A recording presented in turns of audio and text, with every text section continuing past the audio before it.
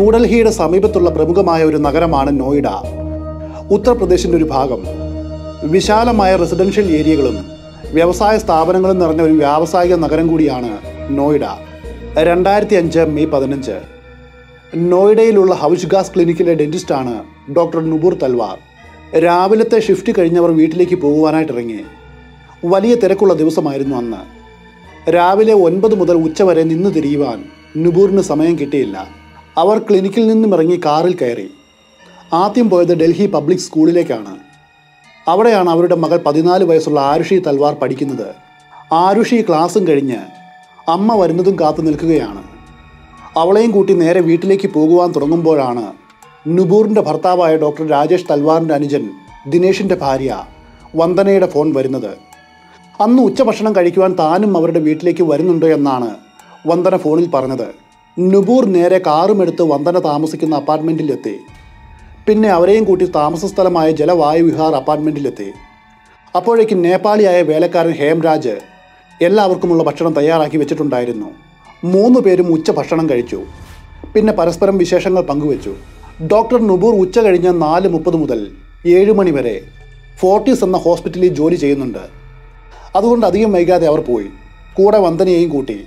ആരുഷിയാകട്ടെ ആ സമയം അവളുടെ റൂമിൽ ഒറ്റയ്ക്കായിരുന്നു. ആരുഷിയുടെ അച്ഛൻ ഡോക്ടർ രാജേഷ് തൽവാർ.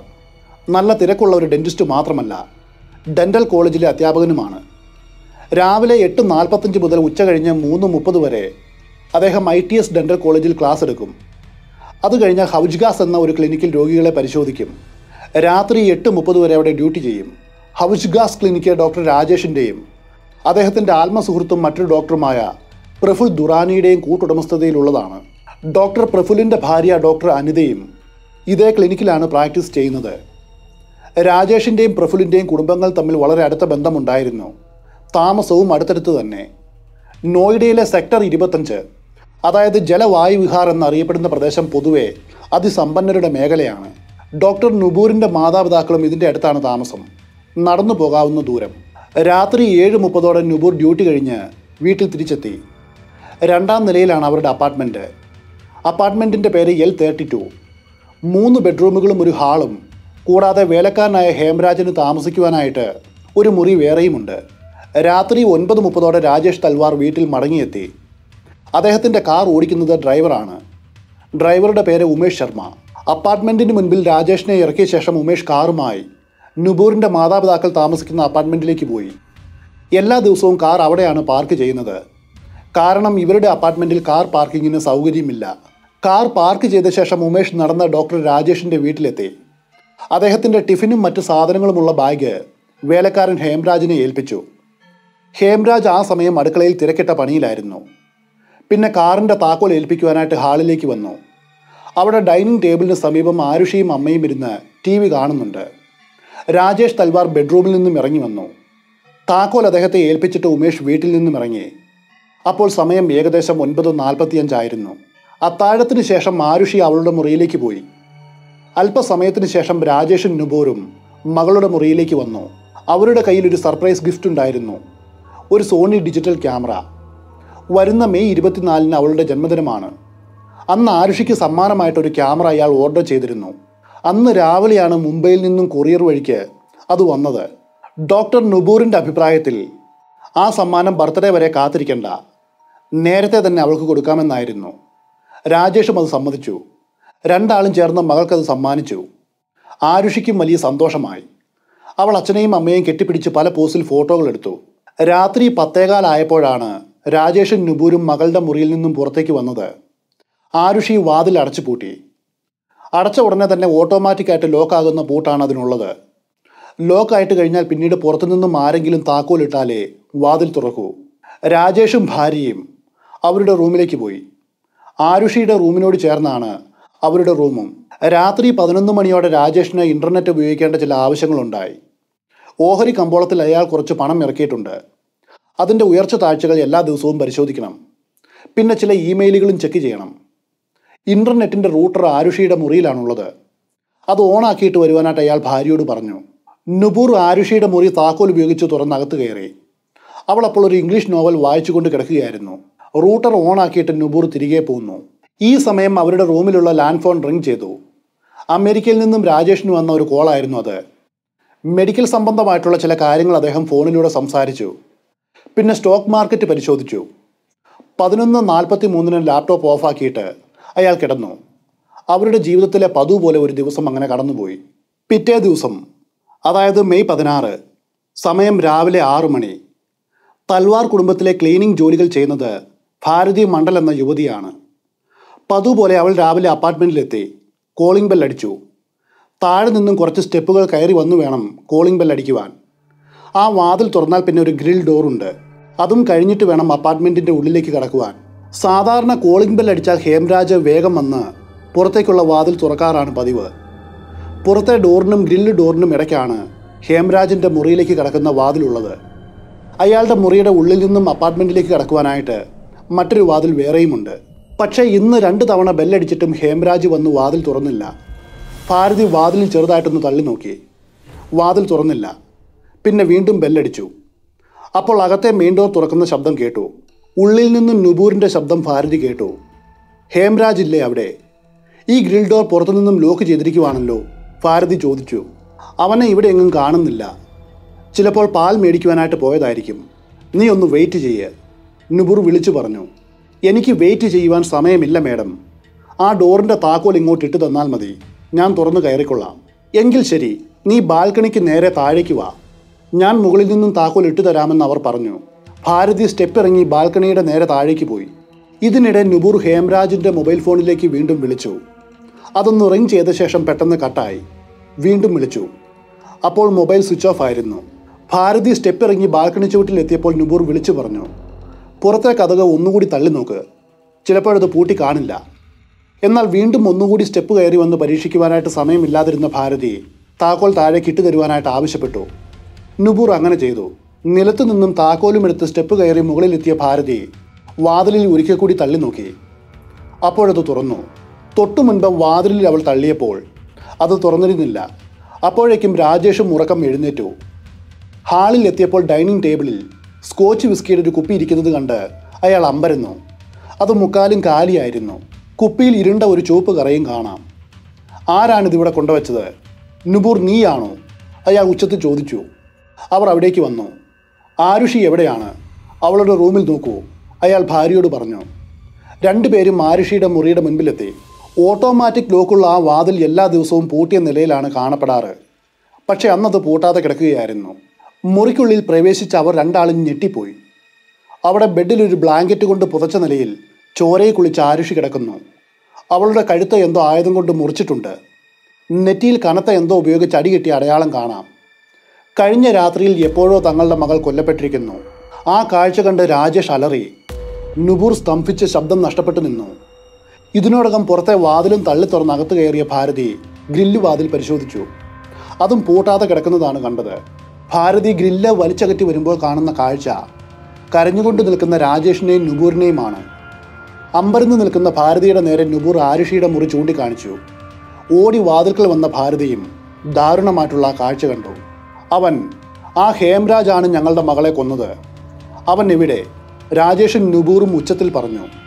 ഭാരതി വേഗം വീടിന് പുറത്തേക്ക് ഓടിയിട്ട് അയൽവാസികളെ വിവരം അറിയിച്ചു. പിന്നീട് അവൾ ജോലിക്കായിട്ട് മറ്റു വീടുകളിലേക്ക് പോയി. വിവരം അറിഞ്ഞ അയൽവാസികൾ അവിടേക്കെത്തി.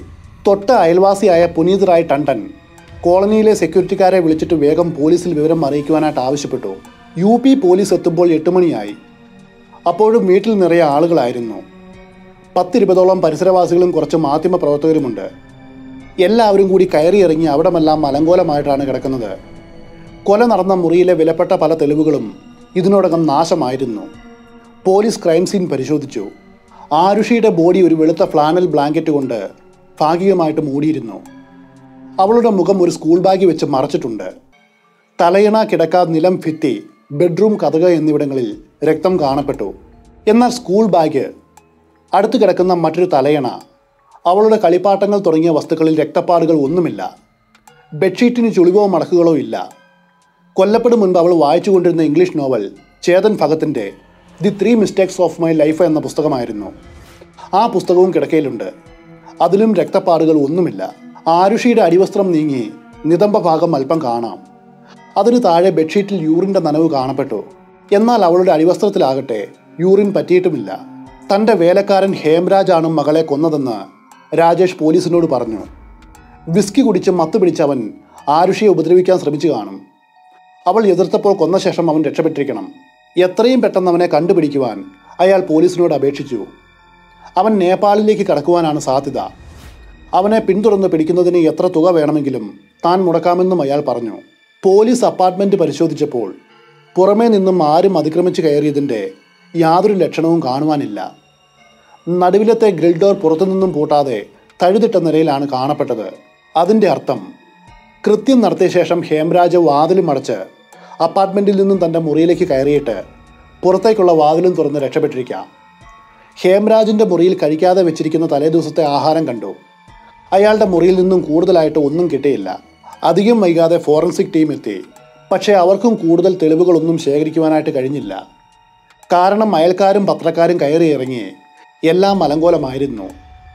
ആരുഷിയുടെ കിടക്കയുടെ ചില ഭാഗങ്ങൾ ബെഡ്ഷീറ്റ് തലയിണ വസ്ത്രങ്ങൾ തുടങ്ങിയ ചില വസ്തുക്കൾ ഫോറൻസിക് ടീം ശേഖരിച്ചു. എട്ടരയോടെ ആരുഷിയുടെ ബോഡി പോസ്റ്റ്മോർട്ടത്തിനായി പുറത്തേക്കെടുത്തു.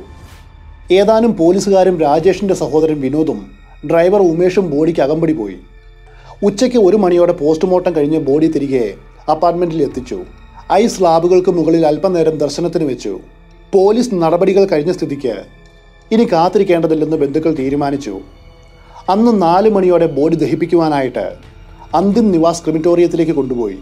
ആരുഷിയുടെ കിടക്ക ഉൾപ്പെടെയുള്ള വസ്തുക്കൾ മുറിയിൽ നിന്നും ഒഴിവാക്കുവാൻ ഡ്രൈവർ ഉമേഷും രാജേഷിന്റെ സഹോദരൻ ദിനേശും കൂടി അതെല്ലാം എടുത്തൊരു ഫാണ്ടത്തിൽ കെട്ടി.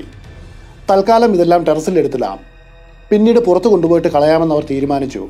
എല്ലാം പെറുക്കി കെട്ടി സ്റ്റെപ്പും കയറി ടെറസിലേക്കുള്ള വാതിലിൽ എത്തുമ്പോൾ അത് പൂട്ടിയ നിലയിൽ കാണപ്പെട്ടു. അപ്പോൾ പ്രായമായ ഒരു സ്ത്രീ താഴെ നിന്നുകൊണ്ട് അവരോട് പറഞ്ഞു തൽക്കാലം അത് അയൽവാസിയായിട്ടുള്ള പുനീതിന്റെ ടെറസിൽ ഇടുവാൻ. അവർ ഭാണ്ഡവുമായിട്ട് പുനീതിന്റെ അപ്പാർട്ട്മെന്റിലെത്തി ഒരു ഭിത്തിയുടെ അപ്പുറമാണ് പുനീതിന്റെ താമസം. അയാൾ തന്നെ താക്കോലുമായിട്ട് വന്ന് ടെറസിന്റെ വാതിൽ തുറന്നു കൊടുത്തു. ഒരു ഗ്രില്ലിന്റെ വേർതിരിവിനും അപ്പുറം രാജേഷിന്റെ ടെറസാണ്.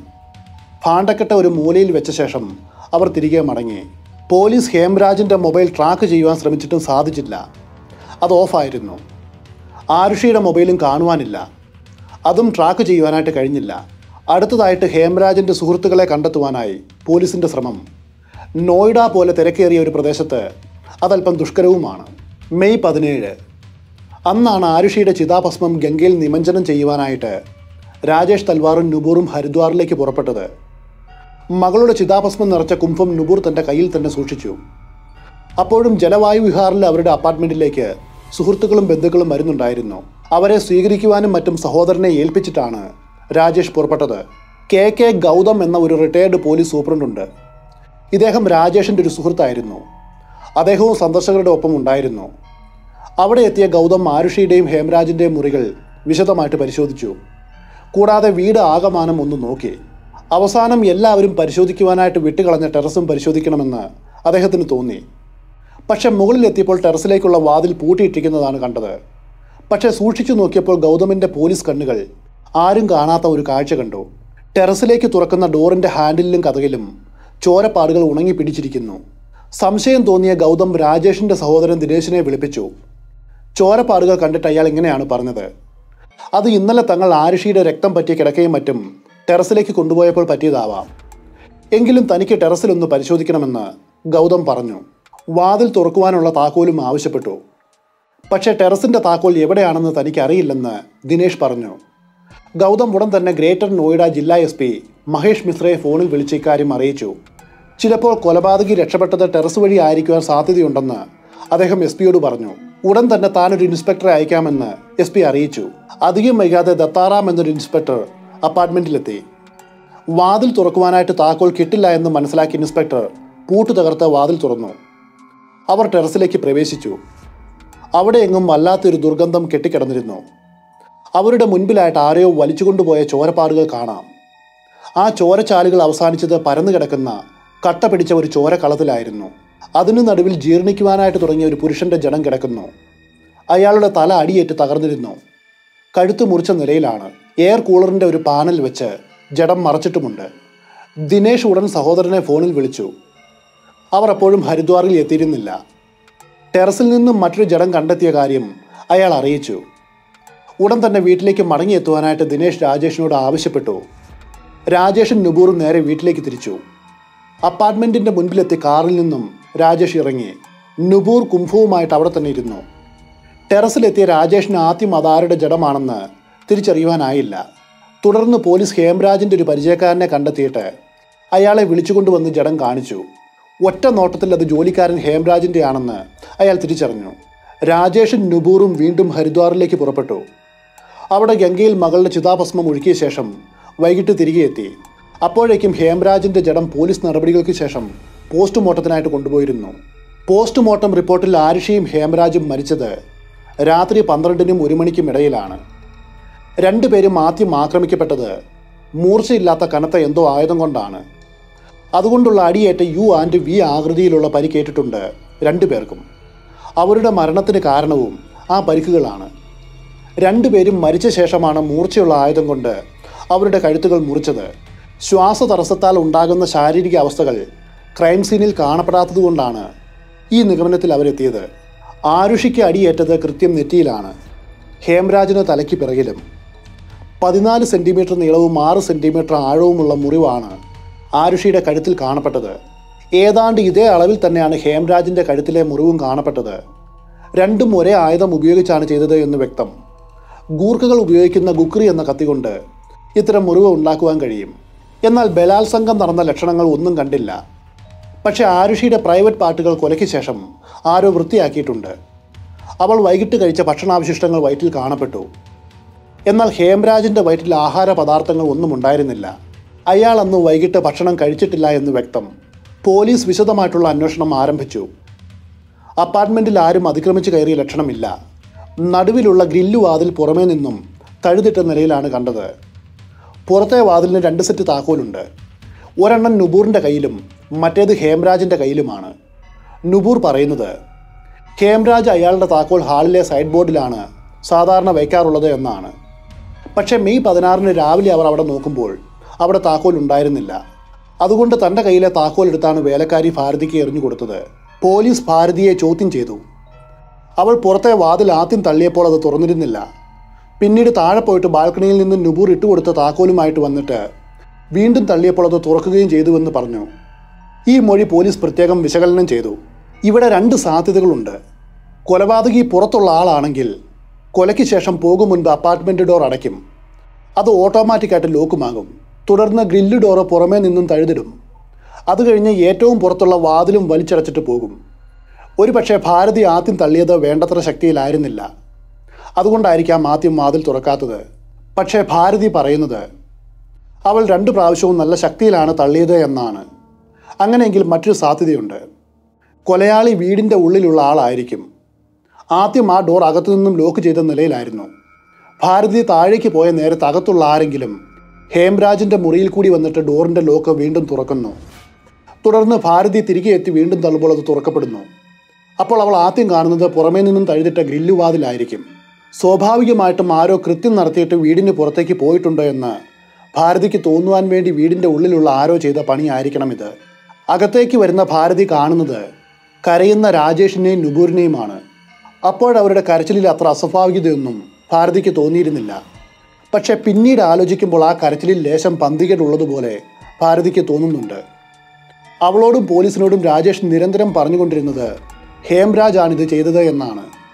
പക്ഷേ ഹേംരാജിനെയും കൊല്ലപ്പെട്ട നിലയിൽ കണ്ടെത്തി കഴിഞ്ഞു രണ്ടുപേരുടെയും മരണസമയം അടുത്തടുത്താണ്. ഇതോടെ പോലീസിന്റെ സംശയം മെല്ലെ രാജേഷ് തൽവാറിലേക്ക് തിരിഞ്ഞു. അവർ ഒരു തിയറി ഉണ്ടാക്കി. രാത്രിയിൽ ഒരുപക്ഷെ എല്ലാവരും ഉറങ്ങിയെന്ന ധാരണയിൽ ഹേംരാജ് ഹാളിൽ എത്തിയിരിക്കണം. പിന്നെ ഷെൽഫിൽ നിന്നും രാജേഷ് തൽവാറിന്റെ വിസ്കി എടുത്തു കുടിച്ചു. മദ്യം തലയ്ക്ക് പിടിച്ചതോടെ അയാൾ ആരുഷിയുടെ മുറിയുടെ വാതിലിൽ തട്ടി. മാതാപിതാക്കളാണെന്ന് കരുതിയിട്ട് അവൾ വാതിൽ തുറന്നു. പെട്ടെന്ന് ഉള്ളിൽ കയറി അയാൾ അവളെ ലൈംഗികമായിട്ട് ആക്രമിക്കുവാനായിട്ട് ശ്രമിച്ചു. ആരുഷി ചെറുത്തപ്പോൾ കയ്യിലെ ഗുക്രി കൊണ്ട് അയാൾ അവളുടെ കഴുത്തറത്തു ഈ സമയം ശബ്ദം കേട്ട് രാജേഷ് പുറത്തേക്ക് വന്നു. അയാൾ ഓടി ഹേംരാജിന്റെ മുറിയിൽ വന്ന് നോക്കുമ്പോൾ അവൻ അവിടെയില്ല. ഉടനെ തന്നെ അവിടെ ഉണ്ടായിരുന്ന ഒരു ഗോൾഫ് കളിക്കുന്ന സ്റ്റിക്കും എടുത്തുകൊണ്ട് ആരുഷിയുടെ മുറിയിലെത്തി. അപ്പോഴേക്കും ഹേംരാജ് അവളുടെ കഴുത്ത് മുറിച്ചിരുന്നു. നിയന്ത്രണം നഷ്ടമായ ഡോക്ടർ ഹേംരാജിന്റെ തലയ്ക്ക് പിന്നിൽ ആദ്യ അടി അടിച്ചിരിക്കണം. അടുത്ത അടി കൊള്ളും മുൻപ് അവനൊരു വശത്തേക്ക് ചെരിഞ്ഞു വീണു. അതുകൊണ്ട് രണ്ടാമത്തെ അടി ആരുഷിക്കാണ് കൊണ്ടത്. എന്നിട്ട് പരിക്കേറ്റ ഹേംരാജിനെ ഷീറ്റിൽ പൊതിഞ്ഞ് ടെറസിലേക്ക് വലിച്ചുകൊണ്ടുപോയി. അവിടെ വെച്ച് അവന്റെ കഴുത്ത് മറത്തു. ജഡം പിന്നീട് മറവ് ചെയ്യുന്നതിനായി അവിടെ സൂക്ഷിച്ചു വെച്ചു. ഇതായിരുന്നു പോലീസ് ഉണ്ടാക്കിയ തിയറി. ചില പഴുതുകൾ ഉണ്ടെങ്കിലും വളരെ സാധ്യതയുള്ള ഒരു സിദ്ധാന്തമായിരുന്നു അത്. പക്ഷേ രാജേഷിനെ ഇതുമായിട്ട് ബന്ധിപ്പിക്കുവാനുള്ള തെളിവുകൾ ഇനിയും കിട്ടേണ്ടിയിരിക്കുന്നു. പോലീസ് രാജേഷിനെ ചോദ്യം ചെയ്തു. ആരുഷി കൊല്ലപ്പെട്ട രാത്രിയിൽ പതിനൊന്ന് മുക്കാലോടെ താൻ ഉറങ്ങുവാൻ കിടന്നുവെന്നും പെട്ടെന്ന് തന്നെ ഉറങ്ങിപ്പോയെന്നും അയാൾ പറഞ്ഞു. ആരുഷിയുടെ മുറി തൊട്ടടുത്താണല്ലോ. എന്നിട്ടും അവിടെ നിന്നുമുള്ള ശബ്ദം കേൾക്കാത്തത് എന്തുകൊണ്ടാണെന്ന് പോലീസ് ചോദിച്ചു. എ സിയുടെ ശബ്ദം മൂലം തനിക്കൊന്നും കേൾക്കുവാൻ കഴിഞ്ഞില്ല എന്ന് അയാൾ ഉത്തരവും പറഞ്ഞു. പോലീസ് രണ്ടാമതും മുറികൾ പരിശോധിച്ചു. അതിൽ നിന്നും ആരുഷിയുടെയും രാജേഷിന്റെയും മുറികൾ വേർതിരിച്ചത് ബോർഡ് കൊണ്ടാണെന്ന് മനസ്സിലായി. ഫിത്തി വേർതിരിച്ചത് ബോർഡ് കൊണ്ടാണെങ്കിൽ നിശ്ചയമായിട്ടും ശബ്ദം കേൾക്കേണ്ടതാണ്. എന്നാൽ അത് സിമെന്റ് ഫിത്തിക്ക് പുറമെ ബോർഡ് ഒട്ടിച്ചതാണെന്ന് രാജേഷ് പറഞ്ഞു. അന്ന് രാത്രി താൻ ഉറങ്ങുന്നത് വരെയുള്ള എല്ലാ കാര്യങ്ങളും രാജേഷ് വിശദീകരിച്ചു. നെറ്റ് ഉപയോഗിച്ചതും അമേരിക്കയിൽ നിന്നും വന്ന കോളിന്റെ കാര്യവുമടക്കം എല്ലാം അതിലുണ്ടായിരുന്നു. ഇതുവരെയും പോലീസിന് ആരുഷിയുടെയും ഹേംരാജിന്റെയും ഫോണുകൾ കണ്ടെത്തുവാൻ കഴിഞ്ഞിരുന്നില്ല. പോലീസ് ആരുഷിയുടെ കോൾ ഡീറ്റെയിൽസ് ശേഖരിച്ചു. മെയ് ഒന്ന് മുതൽ അവൾ കൊല്ലപ്പെട്ട മെയ് പതിനഞ്ച് വരെയുള്ള ദിവസങ്ങൾ പരിശോധിച്ചപ്പോൾ സാധാരണ അർദ്ധരാത്രി വരെ ആരുഷി ഫോൺ ഉപയോഗിക്കാറുണ്ടെന്ന് മനസ്സിലായി. ചില ദിവസങ്ങളിൽ രാത്രി പതിനൊന്ന് മുപ്പത് മുതൽ ഒരു മണി വരെയുള്ള സമയത്ത് അവൾക്ക് കോളുകളും മെസ്സേജുകളും വന്നിട്ടുണ്ട്. അതേസമയം കൊല്ലപ്പെട്ട മെയ് പതിനഞ്ചിന് രാത്രി ഒൻപത് പത്ത് വരെയാണ് ഫോൺ ഉപയോഗിച്ചിട്ടുള്ളൂ. ആ സമയത്തൊരു മെസ്സേജ് വന്നിരുന്നു. ഇതെല്ലാം അവളുടെ സുഹൃത്തുക്കളുടെ ആയിരുന്നു. അതിൽ ഒരു നമ്പർ പോലീസ് പ്രത്യേകം ശ്രദ്ധിച്ചു. ആ നമ്പറിൽ നിന്നുമാണ് കൂടുതൽ മെസ്സേജുകളും കോളുകളും വന്നിരിക്കുന്നത്. അൻമോൽ എന്ന ഒരു ആൺ സുഹൃത്തിന്റെ ആയിരുന്നു അത്. പോലീസ് അൻമോലിനെ ചോദ്യം ചെയ്തു. ആരുഷി കൊല്ലപ്പെട്ട അന്ന് അർദ്ധരാത്രിയോട് അടുപ്പിച്ച് അൻമോൽ അവളെ വിളിച്ചിരുന്നു. പക്ഷേ ആരുഷി ഫോൺ എടുത്തില്ല. തുടർന്ന് അവൻ വീട്ടിലെ ലാൻഡ് നമ്പറിലേക്ക് വിളിച്ചു. അതും അറ്റൻഡ് ചെയ്യപ്പെട്ടില്ല. വീണ്ടും അവൻ ആരുഷിക്ക് ഒരു മെസ്സേജ് അയച്ചു. പക്ഷെ അത് ഡെലിവർ ആയില്ല. വീട്ടിലെ ലാൻഡ് ഫോൺ രാജേഷിന്റെയും നുബൂറിന്റെയും മുറിയിലാണ്. അർദ്ധരാത്രിയിൽ അൻമോൽ അവരെ ലാൻഡ് ലൈനിലേക്ക് വിളിച്ചിട്ടുണ്ടെങ്കിൽ ഉറപ്പായിട്ടും അവർ ഉണരേണ്ടതാണ്. അക്കാര്യത്തെപ്പറ്റി ചോദിച്ചപ്പോൾ തങ്ങൾ അങ്ങനെ ഒരു റിംഗിങ് കേട്ടിട്ടില്ല എന്നും ഫോൺ ചിലപ്പോൾ കേടായതായിരിക്കാമെന്നും പറഞ്ഞു. പക്ഷേ അതേ രാത്രിയിൽ രാജേഷ് അമേരിക്കയിൽ നിന്നും വന്ന കോൾ അറ്റൻഡ് ചെയ്തതാണ്. അതിന്റെ അർത്ഥം ഫോൺ കേടല്ല എന്നാണ്. ഈ വൈരുദ്ധ്യം വിശദീകരിക്കുവാനായിട്ട് രാജേഷിന് കഴിഞ്ഞില്ല. പോലീസ് അടുത്തതായിട്ട് ഹേംരാജിന്റെ കോൾ ലിസ്റ്റ് പരിശോധിച്ചു. അയാളുടെ ഫോണിൽ ഉണ്ടായിരുന്നത് രാജേഷിന്റെ പേരിലെടുത്ത സിമ്മാണ് മെയ് പതിനഞ്ചിന് ഹേംരാജിന്റെ മൊബൈലിലേക്ക് വന്ന കോളുകളിൽ അധികവും രാജേഷിന്റെയും നുബൂറിന്റേതുമായിരുന്നു അന്ന് അവസാനം വന്ന കോൾ രാത്രി എട്ട് ഇരുപത്തേഴിനാണ് ആറ് മിനിറ്റ് നീണ്ടു നിന്ന ആ കോൾ ഒരു പബ്ലിക് ബൂത്തിൽ നിന്നുമാണ് വന്നത്. അതുകൊണ്ട് ആരാണ് കോൾ ചെയ്തത് എന്ന് പോലീസിന് കണ്ടെത്തുവാൻ കഴിഞ്ഞില്ല. പിറ്റേന്ന് രാവിലെ ആറ് ഒന്നിന് നുബൂറിന്റെ കോൾ അതിൽ വന്നിട്ടുണ്ട്. ആ കോൾ അറ്റൻഡ് ചെയ്തിട്ടുമുണ്ട്. അതും രണ്ട് സെക്കൻഡ് നേരത്തേക്ക്. പിന്നെ അത് കട്ടായി. ഫോൺ ലൊക്കേഷൻ രാജേഷിന്റെ അപ്പാർട്ട്മെന്റ് ഉൾപ്പെടുന്ന പ്രദേശത്തിന്റെ ഒരു കിലോമീറ്റർ ചുറ്റളവിലായിരുന്നു. ഒരുപക്ഷെ അപ്പാർട്ട്മെന്റിൽ തന്നെയും ആവാം. ഡോക്ടർ രാജേഷിന്റെ കാൾ റെക്കോർഡുകളിൽ അസാധാരണമായിട്ട് ഒന്നും കണ്ടില്ല. സാധാരണ ഉണ്ടാകുന്ന കോളുകൾ മാത്രം. അതിൽ കൂടുതലും വന്നിരിക്കുന്നത് കുടുംബ സുഹൃത്തും സഹപ്രവർത്തകയുമായ അനിത ദുറാനിയുടെയാണ്. രാത്രി പത്ത് മുപ്പതിന് വിദേശത്തു നിന്നും ഒരു കോൾ അദ്ദേഹത്തിന് വന്നിട്ടുമുണ്ട്. നുബൂറിന്റെ ഫോൺ മെയ് പതിനഞ്ച് വൈകിട്ട് ഏഴ് നാൽപ്പത് മുതൽ. മെയ് പതിനെട്ട് ഉച്ചയ്ക്ക് ഒരു മണി വരെ സ്വിച്ച് ഓഫ് ആയതായിട്ട് കണ്ടു. കഴിഞ്ഞ അറുപത് ദിവസത്തിന്റെ ഉള്ളിൽ ആദ്യമായിട്ടാണ് ആ ഫോൺ സ്വിച്ച് ഓഫ് ചെയ്യപ്പെട്ടത്. ഹേംരാജിന്റെ സുഹൃത്തുക്കളെ ചോദ്യം ചെയ്തപ്പോൾ തന്റെ ജീവന് ഭീഷണിയുണ്ടെന്ന് അയാൾ പലപ്പോഴും പറഞ്ഞിട്ടുള്ളതായിട്ട് മനസ്സിലായി. രാജേഷ് ഒരു മുൻകോപിയാണെന്നും നിസാര കാര്യങ്ങൾക്ക് വരെ തന്നെ അടിക്കുമായിരുന്നു എന്നും ഹേംരാജ് അവരോട് പറഞ്ഞിരുന്നു. തന്റെ കുടുംബ രഹസ്യങ്ങൾ ഹേംരാജ് വെളിയിലുള്ളവരോട് പറയുന്നുണ്ട് എന്ന് രാജേഷ് സംശയിച്ചു. അതായിരുന്നു അയാളുടെ കോപത്തിന്റെ കാരണം. ക്രൈം സീൻ അപഗ്രന്ഥിച്ചതിൽ നിന്നുമുണ്ടായ മറ്റു ചില നിരീക്ഷണങ്ങൾ ഇവയാണ്. ഹേംരാജ് കൊല്ലപ്പെട്ട രാത്രിയിൽ ആഹാരം കഴിച്ചിരുന്നില്ല. അയാളുടെ കിടക്ക രാവിലെ മടക്കി വെച്ചതുപോലെ കാണപ്പെട്ടു. അതിന്റെ അർത്ഥം ആ രാത്രിയിൽ അയാൾ കിടന്നിരുന്നില്ല എന്നാണ്. ഹാളിൽ കണ്ടെത്തിയ വിസ്കി കുപ്പിയിൽ ചോരപ്പാടുകൾ ഉണ്ടായിരുന്നു. അത് ആരുഷിയുടെയും ഹേംരാജിന്റെയും രക്തമാണെന്ന് ഡി എൻ എ പരിശോധനയിൽ മനസ്സിലായി. എന്നാൽ കുപ്പിയിൽ നിന്നും ആരുടെയും ഫിംഗർ പ്രിന്റ് കിട്ടിയുമില്ല. ആരുഷിയുടെ പുതിയ ക്യാമറയിൽ പതിമൂന്ന് പതിനഞ്ച് ഇരുപത് ഇരുപത്തിരണ്ട് എന്നീ നമ്പറുകളിലുള്ള അഞ്ച് ഫോട്ടോകൾ ഉണ്ടായിരുന്നു. അതായത് ചുരുങ്ങിയത് ഇരുപത്തിമൂന്ന് ഫോട്ടോകളെങ്കിലും അവൾ എടുത്തിട്ടുണ്ട്. ബാക്കിയുള്ളവ ആരോ ഡിലീറ്റ് ചെയ്തിരിക്കുന്നു. ഒരു പക്ഷേ അവൾ തന്നെയാവാൻ ഡിലീറ്റ് ചെയ്തത്. ആരുഷിയുടെ മരണശേഷം മൂന്ന് മണിക്കൂർ കഴിഞ്ഞ് ഏകദേശം വെളുപ്പിന് മൂന്ന് നാൽപ്പത്തി മൂന്നിന് അവളുടെ റൂമിലുണ്ടായിരുന്ന ഇന്റർനെറ്റ് റൂട്ടർ ഓഫായിരുന്നു. പിന്നീട് രാവിലെ ആറ് ഒന്നിന് ഓണായി. തുടർന്ന് പലവട്ടം ഓഫും ഓണുമായി. ഇതുവരെ ശേഖരിക്കപ്പെട്ട തെളിവുകളെല്ലാം വിരൽ ചൂണ്ടിയത് രാജേഷിന് നേരെയാണ്. പോലീസ് ആദ്യമുണ്ടാക്കിയ തിയറി പ്രകാരമായിരിക്കണം കുറ്റകൃത്യം സംഭവിച്ചിരിക്കുക. എന്നാൽ പോസ്റ്റ്മോർട്ടം റിപ്പോർട്ടിൽ കണ്ട ഒരു സൂചന മറ്റൊരു സാധ്യതയും ചൂണ്ടിക്കാണിച്ചു. ആരുഷി തലക്കടിയേറ്റാണ് മരണപ്പെട്ടത്. അതിനുശേഷമാണ് കഴുത്തിലെ മുറിവുണ്ടായിട്ടുള്ളത്. അതിന്റെ അർത്ഥം ഹേംരാജ് അല്ല അവളെ കൊന്നത് എന്നാണ്. കാരണം അവൾക്കും അയാൾക്കും പരിക്കേറ്റിട്ടുള്ളത് ഒരേ ആയുധം കൊണ്ടാണ്. ഇതോടെ പോലീസിന് തങ്ങളുടെ തിയറി വീണ്ടും മാറ്റേണ്ടി വന്നു. രണ്ടുപേരെയും ഒരാളാണ് കൊന്നതെങ്കിൽ അത് രാജേഷ് തന്നെ ആയിരിക്കണം. പക്ഷേ ഒരച്ഛൻ സ്വന്തം മകളെ എങ്ങനെ ക്രൂരമായിട്ട് ഇങ്ങനെ കൊല്ലും? പോലീസിന്റെ അന്വേഷണം മറ്റു വഴികളിലേക്ക് നീങ്ങി. രാജേഷിന്റെ വീട്ടിൽ നേരത്തെ ഒരു നേപ്പാളി ജോലിക്ക് നിന്നിരുന്നു. അയാളുടെ പേര് വിഷ്ണു ദാപ്പ. ഏകദേശം പത്തു വർഷത്തോളം അയാൾ രാജേഷിന്റെ കൂടെയായിരുന്നു. ഈ വിഷ്ണു ദാപ്പയ്ക്ക് കൃത്യനിഷ്ഠ വളരെ കുറവായിരുന്നു. ഇടയ്ക്കിടയ്ക്ക് അയാൾ നേപ്പാളിലേക്ക് പോകും. മടങ്ങി വരുമ്പോൾ ആരെങ്കിലും കൂട്ടത്തിൽ കൊണ്ടുവരും. എന്നിട്ട് താൻ ജോലി ചെയ്യുന്ന വീട്ടിൽ അയാളെ താൽക്കാലികമായിട്ട് നിർത്തിയിട്ട് വീണ്ടും കറങ്ങുവാനായിട്ട് പോകും. അങ്ങനെ കൊണ്ടുവന്നതായിരുന്നു ഹേംരാജിനെ. ഒരു ദിവസം ഹേംരാജിനെ രാജേഷിന്റെ കൂടെ നിർത്തിയിട്ട് നേപ്പാളിൽ പോയിട്ട് വന്ന വിഷ്ണു ദാപ്പയോട് ഇനി നിന്നെ ഞങ്ങൾക്ക് ആവശ്യമില്ല എന്ന് രാജേഷ് പറഞ്ഞു. അതോടെ ജോലി നഷ്ടമായ വിഷ്ണു ദാപ്പ നിരാശയോടെ നേപ്പാളിലേക്ക് മടങ്ങി. എട്ട് മാസമേ ആയിട്ടുള്ളൂ ഹേംരാജ് ഇവിടെ ജോലിക്ക് കയറിയിട്ട്. പോലീസ് ഇങ്ങനെ വിചാരിച്ചു. ഒരുപക്ഷെ ജോലി നഷ്ടപ്പെട്ടതിൽ പ്രതികാരദാഹിയായ ധാപ്പ അന്ന് രാത്രിയിൽ തിരികെ എത്തി ഹേംരാജിനെ വധിച്ചിരിക്കാം. സംഭവത്തിന് സാക്ഷിയായ ആരുഷിയെയും അയാൾ വധിച്ചിരിക്കാം. രാജേഷിന്റെ അപ്പാർട്ട്മെന്റിന്റെ ഉൾവശം നല്ല പരിചയമുള്ള വിഷ്ണു ദാപ്പയ്ക്ക് ഇത് ബുദ്ധിമുട്ടുള്ള കാര്യമല്ല. ചിലപ്പോൾ മറ്റാരുടെയെങ്കിലും സഹായവും അയാൾക്ക് ഉണ്ടായിരുന്നിരിക്കാം. പോലീസ് വിഷ്ണു ദാപ്പയെ ട്രാക്ക് ചെയ്തു. അധികം വൈകാതെ അയാളെ പിടികൂടി. വിശദമായിട്ടുള്ള ചോദ്യം ചെയ്യൽ നടത്തി. പക്ഷേ യാതൊരു പ്രയോജനവും ഉണ്ടായില്ല. സംഭവം നടക്കുന്ന രാത്രിയിൽ അയാൾ നേപ്പാളിലായിരുന്നു എന്ന് സംശയരഹിതമായിട്ട് തെളിഞ്ഞു. അതോടെ സംശയത്തിന്റെ മുന വീണ്ടും രാജേഷിലേക്ക് തിരിഞ്ഞു. പോലീസ് വീണ്ടും തിയറി മാറ്റി. ഒരുപക്ഷെ കൊല്ലപ്പെട്ട ഹേംരാജിനും ആരുഷിക്കും തമ്മിൽ വഴിവിട്ട ബന്ധമുണ്ടായിരുന്നു എന്നതായിരുന്നു പുതിയ തിയറി. അന്ന് രാത്രിയിലും പതുപോലെ ഹേംരാജ് ആരുഷിയുടെ മുറിയിലെത്തി കാണും. എന്തോ ശബ്ദം കേട്ട് റൂമിലെത്തിയ രാജേഷ് അവരെ മോശമായിട്ടുള്ള രീതിയിൽ കണ്ടു കാണും. പെട്ടെന്നുണ്ടായ കോപം മൂലം ഹേംരാജിനെ അയാൾ കൊല ചെയ്തിരിക്കും. അതിനുശേഷം അഭിമാനക്ഷതം മൂലം മകളെയും കൊന്നിരിക്കണം. ശബ്ദം കേട്ട് ഉണർന്ന നുബൂറും അയാളെ സഹായിച്ചു. രണ്ടുപേരും ചേർന്നായിരിക്കണം ഹേംരാജിന്റെ ബോഡി ടെറസിൽ എത്തിച്ചത്. പിന്നീട് മറവ് ചെയ്യാമെന്ന് കരുതിയാവണം അങ്ങനെ ചെയ്തത്. എന്നിട്ട് ആരുഷിയുടെ മുറിയിലെത്തി അവിടമെല്ലാം വൃത്തിയാക്കി. ആരുഷിയെ വേറെ വസ്ത്രം ധരിപ്പിച്ചു. അവളുടെ പ്രൈവറ്റ് പാർട്ടുകൾ ക്ലീൻ ചെയ്ത് ക്രൈം സീൻ നന്നായിട്ട് ഒരുക്കി വെച്ചു. ഇതായിരിക്കണം സംഭവിച്ചത്. ഇതിനിടെ Meerut police I G Gurdarshan Singh മറ്റൊരു തിയറി അവതരിപ്പിച്ചു. രാജേഷിന് സഹപ്രവർത്തക അനിത ദുറാനിയുമായിട്ട് അവിഹിത ബന്ധമുണ്ടായിരുന്നു. ഇക്കാര്യം ഹേംരാജിനും അറിയാം. അയാൾ അത് വെച്ച് രാജേഷിനെ ബ്ലാക്ക്മെയിൽ ചെയ്തു. ഒടുവിൽ സഹികെട്ട രാജേഷ് ഹേമരാജിനെ ടെറസിൽ വെച്ച് കൊലപ്പെടുത്തി. യാദൃശികമായിട്ട് അവിടെ എത്തിയ ആരുഷി ഇത് കണ്ടു. പെട്ടെന്നുണ്ടായ പ്രകോപനം കൊണ്ട് അയാൾ മകളെയും കൊലപ്പെടുത്തി. ഈ രണ്ട് തിയറികൾ പ്രകാരവും സാഹചര്യ തെളിവുകളും പരിഗണിക്കുമ്പോൾ രാജേഷാണ് കുറ്റവാളിയെന്ന് യു പി പോലീസ് മനസ്സിലാക്കി. മെയ് ഇരുപത്തിമൂന്നിന് പോലീസ് രാജേഷിനെയും നുബൂറിനെയും കസ്റ്റഡിയിലെടുത്തു. സ്റ്റേഷനിൽ എത്തിച്ചിട്ട് നുബൂറിനെ അവിടെ ഇരുത്തി.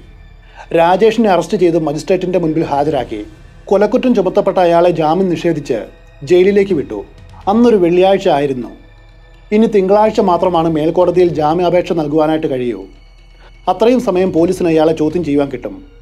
ജയിലിലേക്കുള്ള യാത്രയിൽ രാജേഷിനെ പോലീസുകാർ ഭീഷണിപ്പെടുത്തിയെന്ന് അയാൾ പിന്നീട് പരാതിപ്പെട്ടു. മെയ് ഇരുപത്തിമൂന്ന് തിങ്കളാഴ്ച ഐ ജി ഗുരുദർശൻ സിംഗ് ഒരു പത്രസമ്മേളനം വിളിച്ചു.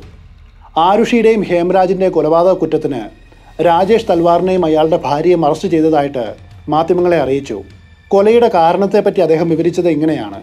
രാജേഷ് തൽവാറിന് സഹപ്രവർത്തക അനിത ദുറാനിയുമായിട്ട് അവിഹിത ബന്ധമുണ്ടായിരുന്നു. ഇക്കാര്യം ആരുഷിക്കും അറിയാം. അവൾ ഇതിനെ ചൊല്ലി അച്ഛനുമായിട്ട് നിരന്തരം വഴക്കിട്ടിരുന്നു.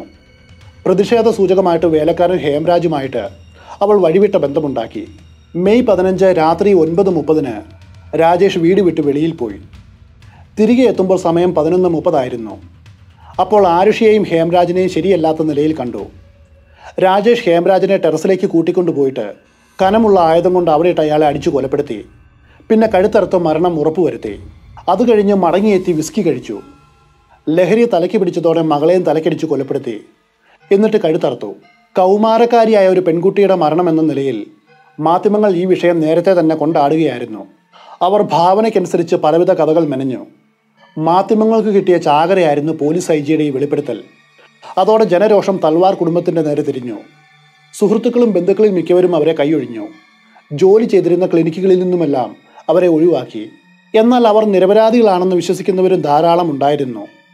കൃത്യമായിട്ടുള്ള തെളിവെടുപ്പോ അന്വേഷണമോ നടത്താതെ യു പി പോലീസ് മനഃപൂർവം തൽവാർ ദമ്പതികളെ കുടുക്കുകയായിരുന്നു എന്ന് അവർ ആരോപിച്ചു. നിഷ്കളങ്കയായ ഒരു പെൺകുട്ടിയെ സ്വഭാവഹത്യ ചെയ്തതിനെതിരെ ശക്തമായിട്ടുള്ള ജനരോഷം ഉയർന്നു. സ്കൂളിൽ വളരെ മിടുക്കിയായിരുന്നു ആരുഷി. ആരുഷിയുടെ സുഹൃത്തുക്കൾ ഒത്തുചേർന്ന് ഡൽഹിയിൽ അവൾക്ക് വേണ്ടിയിട്ട് മെഴുകുതിരികൾ കത്തിച്ചു. കേന്ദ്രമന്ത്രി രേണുക ചൗധരി ഐ ജി ഗുരുദർശൻ സിംഗിനെ കഠിനമായിട്ട് വിമർശിച്ചു. അയാളെ സസ്പെൻഡ് ചെയ്യുവാൻ വരെ അവർ ആവശ്യപ്പെട്ടു. താമസിക്കാതെ അദ്ദേഹത്തെ സ്ഥലവും മാറ്റി. തങ്ങളെ യു പി പോലീസ് വേട്ടയാടുകയാണെന്ന് കാണിച്ച് തൽവാർ ദമ്പതികൾ കോടതിയെ സമീപിച്ചു. കെ സി ബി ഐയെ ഏൽപ്പിക്കണമെന്ന് അവർ അപേക്ഷിച്ചു. മെയ് മുപ്പത്തിയൊന്നിന് ആരുഷി ഹേംരാജ് വധക്കേസ് സി ബി ഐക്ക് കൈമാറി. C B I joint director Arunkumar I P എസിന്റെ നേതൃത്വത്തിൽ ജൂൺ ആദ്യവാരം മുതൽ അന്വേഷണം ആരംഭിച്ചു. സി ബി ഐക്ക് മുൻപിൽ തൽവാർ ദമ്പതികൾ തങ്ങളുടെ മറുവാദങ്ങൾ ഉന്നയിച്ചു. അവ ഇങ്ങനെയാണ്. കൊല നടന്ന ആ രാത്രിയിൽ തങ്ങൾ നല്ല ഉറക്കത്തിലായിരുന്നു. തങ്ങളുടെ മുറിയിലും ആരുഷിയുടെ മുറിയിലും എ സി പ്രവർത്തിക്കുന്നുണ്ട്. കൂടാതെ വാതിൽ നന്നായിട്ട് അടച്ചിരുന്നു. അതുകൊണ്ട് പുറത്ത് എന്ത് ശബ്ദമുണ്ടായാലും കേൾക്കുവാൻ കഴിയില്ല. ആരുഷിക്കെന്ന് തൊണ്ടയിൽ ഇൻഫെക്ഷൻ ഉണ്ടായിരുന്നു. അതുകൊണ്ട് അവൾക്ക് ഉച്ചത്തിൽ ശബ്ദമുണ്ടാക്കുവാനും കഴിയില്ല. ഈ വാദം പരിശോധിക്കുന്നതിനായിട്ട് സി ബി ഐ ഒരു സൗണ്ട് എക്സ്പെർട്ട് ടീമിനെ നിയോഗിച്ചു. അവർ അന്ന് രാത്രി ഉണ്ടാകുവാൻ സാധ്യതയുള്ള ശബ്ദങ്ങൾ പുനഃസൃഷ്ടിച്ചു. തൽവാർ ദമ്പതികൾ പറഞ്ഞത് ശരിയായിരുന്നു. പുറത്തുള്ള ഒരു ശബ്ദവും അവരുടെ മുറിയിൽ കേൾക്കുവാൻ കഴിയില്ല.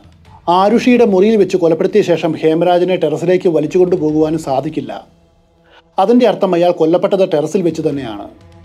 ഹേംരാജിനെയും ആരുഷിയെയും മുറിയിൽ വെച്ച് ഒന്നിച്ചു കണ്ടു എന്ന പോലീസിന്റെ വാദം തെറ്റാണെന്ന് ഇവിടെ തെളിഞ്ഞു. മാത്രവുമല്ല ഡ്രൈവർ ഉമേഷിന്റെ മൊഴി അനുസരിച്ച് തലേന്ന് രാത്രി രാജേഷിനെ കാണുമ്പോൾ അയാൾ ധരിച്ചിരുന്ന അതേ വസ്ത്രം തന്നെയാണ് പിറ്റേന്ന് രാവിലെ കാണുമ്പോഴും ധരിച്ചിരുന്നത്. ഇക്കാര്യം വേലക്കാരി ഭാരതി മണ്ഡലിന്റെ മൊഴിയുമായിട്ട് ഒത്തുപോകുന്നുമുണ്ട്.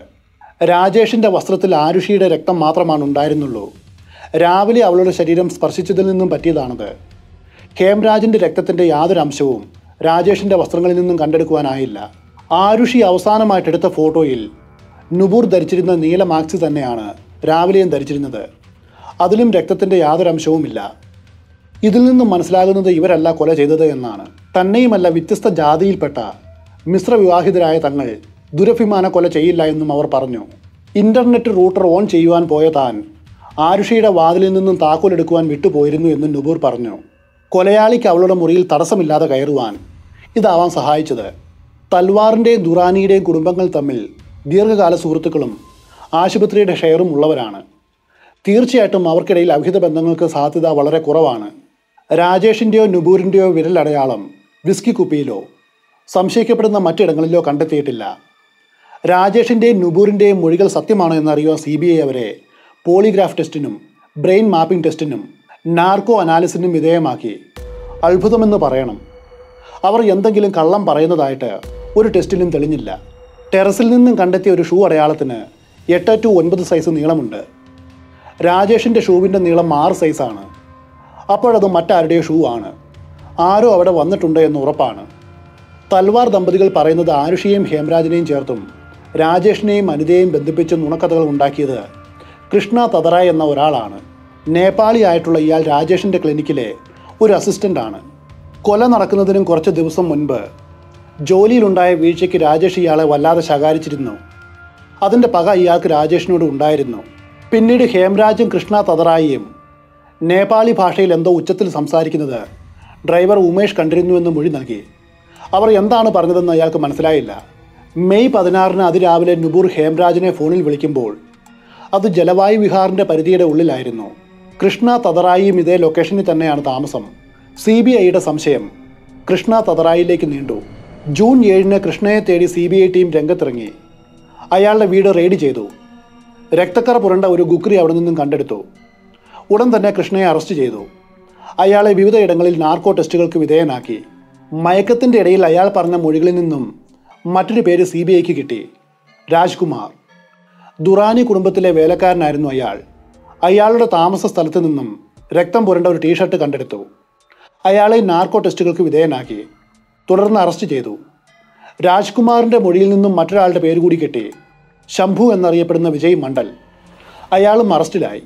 അറസ്റ്റിലായ മൂന്ന് പേരും കൊല നടന്ന ദിവസം ഹേംരാജിന്റെ മുറിയിൽ ഒത്തുചേർന്നതായിട്ട് നാർക്കോ ടെസ്റ്റിലൂടെ ബോധ്യപ്പെട്ടതായിട്ട് മാധ്യമങ്ങൾ റിപ്പോർട്ട് ചെയ്തു. അവർ അവിടെ ഇരുന്നൊരു നേപ്പാളി ഗാനം ടി വിയിലൂടെ കണ്ടിരുന്നു എന്ന് പറഞ്ഞു. അവർ കണ്ടു എന്ന് പറയുന്ന ഗാനം അന്ന് ആ ചാനലിൽ പ്രക്ഷേപണം ചെയ്തിരുന്നു എന്ന് സി ബി ഐ അന്വേഷിച്ചു. അവരുടെ മൊഴി ശരിയായിരുന്നു. രണ്ടായിരത്തി എട്ട് ജൂലൈ പതിനൊന്നിന് അരുൺകുമാർ ഐ പി എസ് ഒരു പ്രസ് കോൺഫറൻസ് വിളിച്ചുകൂട്ടി. അതിൽ ആരുഷി ഹേംരാജ് വധക്കേസ് ഇപ്പോഴും സംശയാതീതമായിട്ട് തെളിയിക്കപ്പെട്ടിട്ടില്ല എന്ന് പറഞ്ഞു.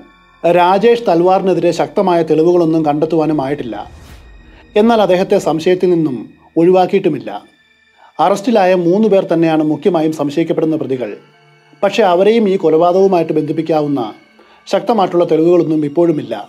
അറസ്റ്റിലായ മൂന്ന് പേരും വ്യത്യസ്ത മൊഴികളാണ് നാർക്കോ ടെസ്റ്റിൽ നൽകിയത്. ഒരാൾ ആരുഷിയുടെ മുറിയിലേക്ക് പോകുന്നു. മറ്റു രണ്ടുപേർ പിന്നാലെ പോകുന്നു. അവർ ആരുഷിയെ ആക്രമിക്കുന്നു. ആരുഷി കൊല്ലപ്പെടുന്നു. അതുകണ്ട് ഭയന്ന ഹേംരാജനെയും ഇവർ കൊല്ലുന്നു. തുടർന്ന് രക്ഷപ്പെടുന്നു. ഇത് പല രീതിയിൽ തിരിഞ്ഞും മറിഞ്ഞും അവർ പറഞ്ഞു. ഒന്നിനും ഒരു ബന്ധവുമില്ല. ഓർക്കുക. മയക്കുമരുന്നുകൾ നൽകിയിട്ട് ചോദ്യം ചെയ്യുമ്പോൾ പറയുന്ന ഇത്തരം മൊഴികൾക്ക് നിയമത്തിന്റെ കണ്ണിൽ യാതൊരു വിലയുമില്ല. അതിനെ ഉറപ്പിക്കുന്ന മറ്റു തെളിവുകൾ ഇല്ലാത്തിടത്തോളം കോടതി ഇത്തരം കുറ്റസമ്മതത്തിന് പുല്ലുവില കൊടുക്കില്ല.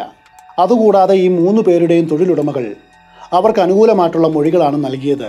ഇരട്ടക്കൊല നടന്ന രാത്രിയിൽ ഇവർ തങ്ങളുടെ വീടുകളിൽ തന്നെ ഉണ്ടായിരുന്നുവെന്ന് വീട്ടുകാർ ഉറപ്പിച്ചു പറഞ്ഞു. ഈ മൂന്ന് പേരും താമസിക്കുന്ന മുറികളിൽ നിന്നും കണ്ടെടുത്തു എന്ന് പറയുന്ന വസ്തുക്കളിലെല്ലാം ഫോറൻസിക് ടെസ്റ്റ് നടത്തിയിരുന്നു. അതിലൊന്നും കൊലയുമായിട്ട് നേരിട്ട് ബന്ധിപ്പിക്കാവുന്ന തെളിവുകൾ ഒന്നും കിട്ടിയില്ല. തെളിവുകളിൽ പലതും സി ബി ഐ വ്യാജമായിട്ട് സൃഷ്ടിച്ചതാണെന്ന പരാതിയുമുണ്ടായി.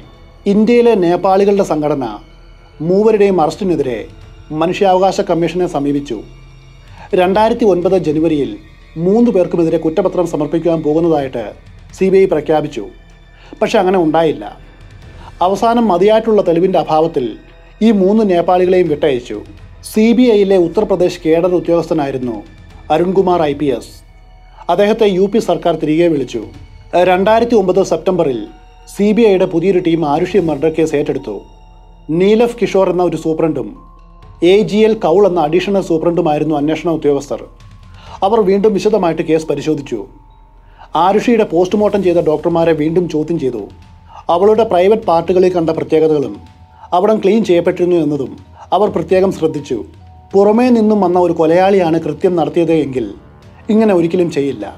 ആരുഷിക്കും ഹേംരാജിനും അടിയേറ്റത് രാജേഷിന്റെ കയ്യിലുണ്ടായിരുന്ന ഗോൾഫ് സ്റ്റിക്ക് കൊണ്ടാണെന്ന് അവർ അനുമാനിച്ചു.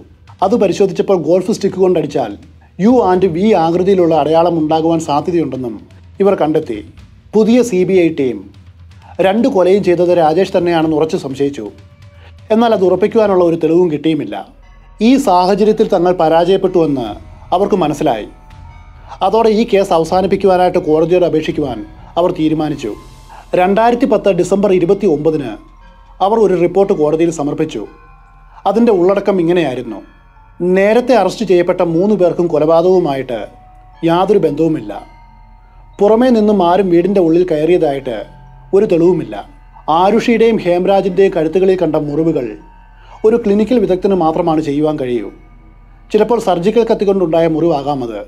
ആരുഷിയുടെ പ്രൈവറ്റ് പാർട്ടുകൾ വൃത്തിയാക്കുവാൻ പുറമേ നിന്നുമുള്ള ഒരാൾ ശ്രമിക്കില്ല. ഹേംരാജ് ആരുഷിയുടെ മുറിയിൽ വെച്ചാണ് കൊല്ലപ്പെട്ടത് എന്നതിന് തെളിവില്ല.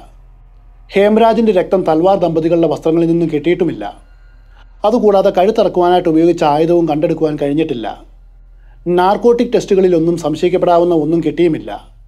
ഈ ഇരട്ടക്കൊലയ്ക്ക് പിന്നിലെ കൃത്യമായിട്ടുള്ള മോട്ടീവ് എന്താണെന്ന് കണ്ടെത്തുവാൻ അന്വേഷണ സംഘം പരാജയപ്പെട്ടിരിക്കുന്നു. അതുകൊണ്ട് ഈ സാഹചര്യത്തിൽ കേസ് അവസാനിപ്പിക്കുവാൻ അനുവദിക്കണമെന്നായിരുന്നു സി ബി ഐയുടെ അപേക്ഷ. എന്നാൽ രാജേഷും നുബൂറും സി ബി ഐയുടെ റിപ്പോർട്ടിനെ ശക്തമായിട്ട് എതിർത്തു. കൃത്യമായ അന്വേഷണം നടത്താതെ തങ്ങളെ ആയുഷ്കാലം മുഴുവനും അപകീർത്തിപ്പെടുത്തുകയാണ് സി ബി ഐ ചെയ്തത് എന്ന് അവർ Ghaziabad special C B I കോടതിയിൽ നൽകിയ പരാതിയിൽ ആരോപിച്ചു. രണ്ടായിരത്തി പതിനൊന്ന് ജനുവരി ഇരുപത്തിനാലിന് കോടതി പരിസരത്ത് വെച്ച ഒരു യുവാവ് രാജേഷ് തൽവാറിന്റെ മുഖത്ത് കത്തിക്ക് കുത്തി. ജനരോഷത്തിന്റെ ഒരു ഭാഗമായിരുന്നു അത്. എന്നാൽ സ്പെഷ്യൽ ജഡ്ജി പ്രീതി സിംഗ് തൽവാർ ദമ്പതികളുടെ പെറ്റീഷൻ തള്ളിക്കളഞ്ഞു. മാത്രവുമല്ല അവർക്കെതിരെ കുറ്റപത്രം തയ്യാറാക്കുവാനായിട്ട് ഉത്തരവിടുകയും ചെയ്തു. ഇതിനെതിരെ രാജേഷും നുബൂറും സുപ്രീം കോടതി വരെ പോയെങ്കിലും ഫലമൊന്നും ഉണ്ടായില്ല. അവർക്കെതിരായിട്ടുള്ള കുറ്റപത്രം സമർപ്പിക്കപ്പെട്ടു.